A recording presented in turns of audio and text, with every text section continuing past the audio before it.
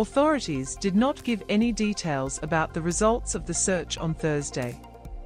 In a statement made by Portugal Judicial Police, some materials were collected and delivered to the German authorities for examination said.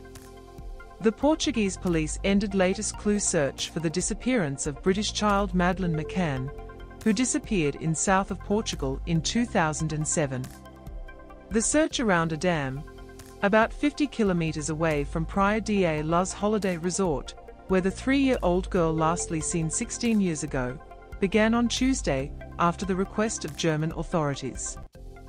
A German, which is the suspect of the case, is currently in prison in Germany from a different case. Portugal, German British police participated in a three-day operation, where detectives examined shores of the Arade Reservoir and also driving search dogs are unmanned aircraft.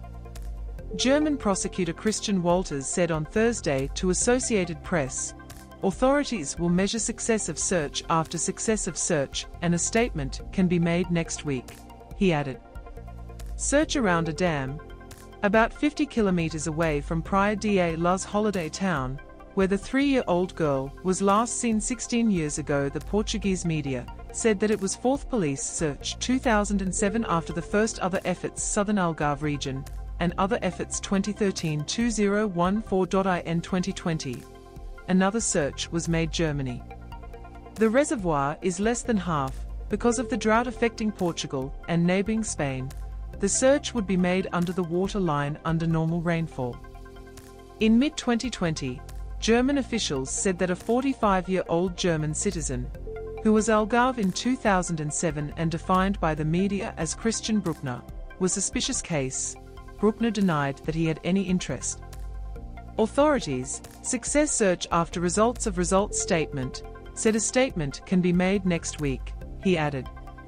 Bruckner is currently sentenced to seven years prison Germany for raping a 72-year-old woman Portugal 2005. The Madeleine McCann case has aroused worldwide for several years with a series of books and television documentaries about the case, as well as reports that it dates back to Australia.